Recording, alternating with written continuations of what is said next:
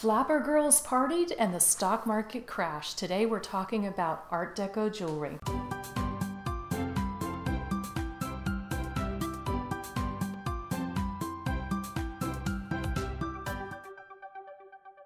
The Art Deco period is the time between 1920 and 1939. Art Deco is all about straight lines, sharp corners, and cubism. World War I resulted in much simpler clothing for women out of necessity. Hemlines were much shorter, sleeves were short or non existent, hair got cut a lot shorter, and after World War I, women did not want to go back to wearing their corsets. The style stayed, and it required a different type of jewelry. This period was all about women's freedom. Not only were they able to move more freely in their clothes, they had a lot more freedom in their lives. They danced at cocktail parties, they smoked cigarettes, they drank in public, they cut their hair short, they played tennis and golf, they drove cars, and all of this affected the jewelry that they wanted to wear. In addition to being able to form platinum better, like we did in the Edwardian period, the ability to cut stones really took off during this time. And stones were cut in interesting shapes in trapezoids, triangles, half moons, all different kinds of shapes. And so they were able to create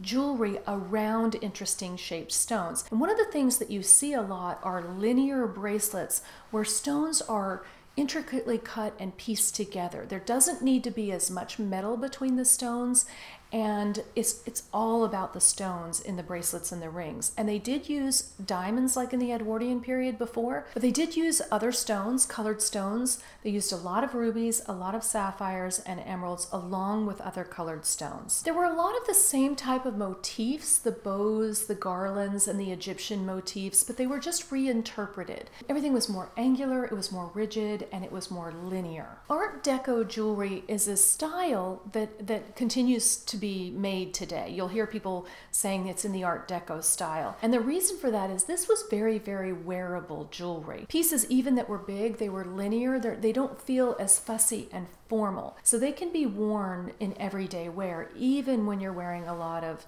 uh, colorful stones and diamonds. The look is very smooth and very polished, and for that reason, Art Deco jewelry is highly collected today, especially the precision cut linear bracelets and the rings. In fact, a lot of wedding rings today are still styled in the Art Deco style. And people do buy Art Deco rings to wear as everyday rings and to wear as wedding rings. Another really amazing innovation during this time that created beautiful jewelry was called mystery setting or invisible setting. And this was a way of setting stones that made the entire piece of jewelry appear to just be stone. You couldn't see the metal at all, barely at all. So you could have a flower or a bouquet of flowers or a feather form that appeared to be all stone. That style is not made today very often, but it is highly, highly collectible from the Art Deco period. So that's the Art Deco period. I'd love to hear from you in the comments below. What do you think of the Art Deco period? And be sure to subscribe so that we can see each other again. Until next time.